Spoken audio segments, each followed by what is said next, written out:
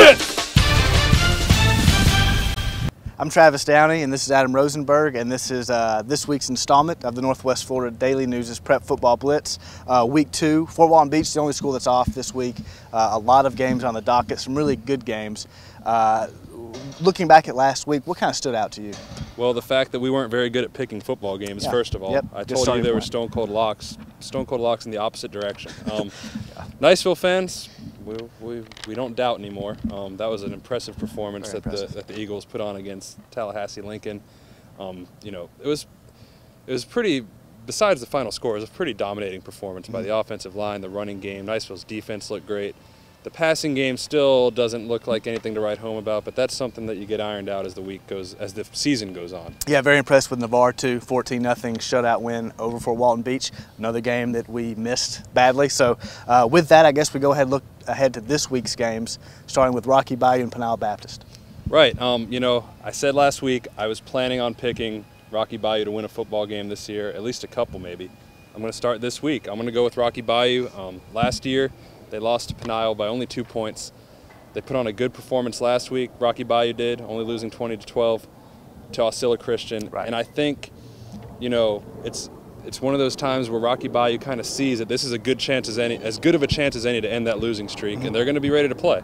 Yeah, and I like what Josh Childers is doing there and, and the mindset he's trying to instill in those kids. I like Rocky Bayou as well. This is the week I'm going with the Knights uh, to get a win. Um, next, we have Sneads traveling to Baker. Mm-hmm. Um, Baker, you know, played the Bulletin Bowl last week against Crestview. They, they held their own for a while until the depth kind of got a hold of them. Now they're playing a team that's more their size, more their uh, their classification anyway.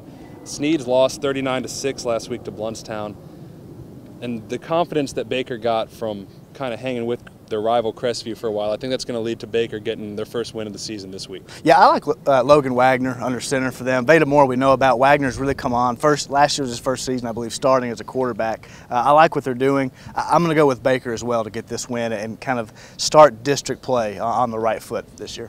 Um, now we have a team that didn't play last week, Freeport, and they will be traveling to Milton.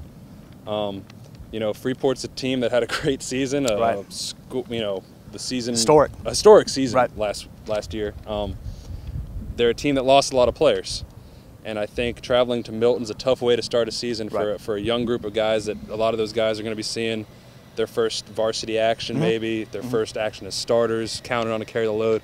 I'm going to go with Milton in this game, but you know, look for it to be fairly closer than a lot of people think. Yeah, Milton coming off of a surprising 6 0 loss to Gulf Breeze. Gulf Breeze didn't win a game last year.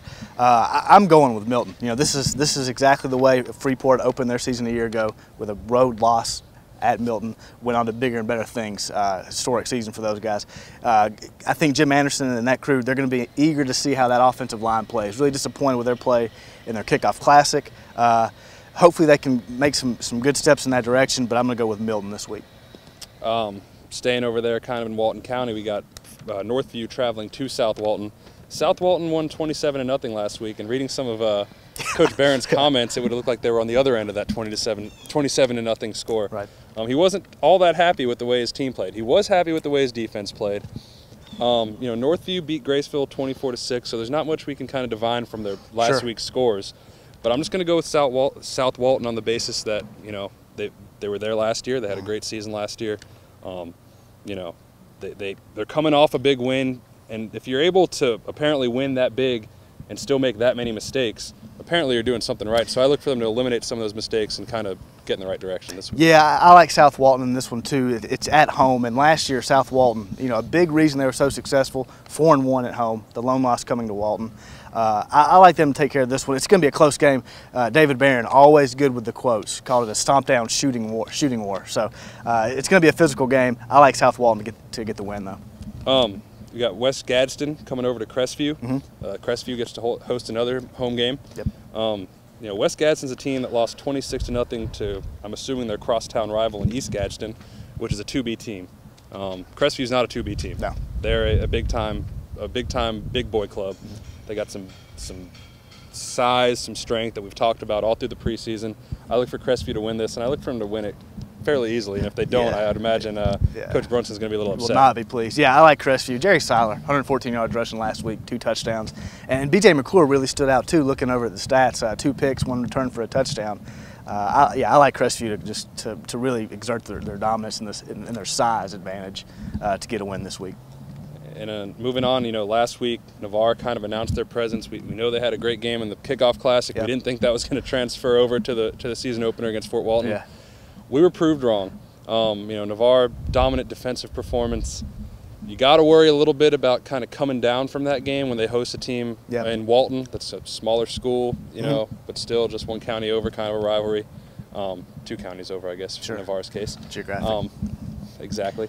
Um, I'm going to go with Navarre, but I'm, you know, look for them to kind of shake off a little bit of the cobwebs from last week's kind of giddy win Mm-hmm. early, and then they'll kind of cruise later. Yeah, I like Navarre as well. Uh, and being on the sideline for that, that win over Fort Walton Beach and in the locker room afterwards, eh, they were almost already focusing to the week ahead. And that was one thing Lashley was really impressed with, Chad Lashley, the Navarre football coach. Uh, I like Navarre. I think it's going to be a good game, uh, but I think that defense that Navarre has uh, and the way they can take away a passing game, uh, especially deep, deep threats, I, I like them to win this one.